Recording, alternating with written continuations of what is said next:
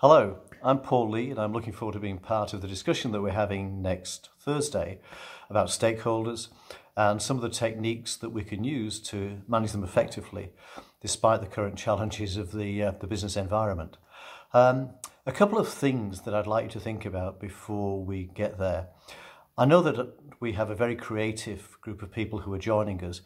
If you do have your own innovative approaches that have, that have worked, or maybe even those that haven't worked, um, see if you can let us know about those and maybe we can include them in the discussion that we're having.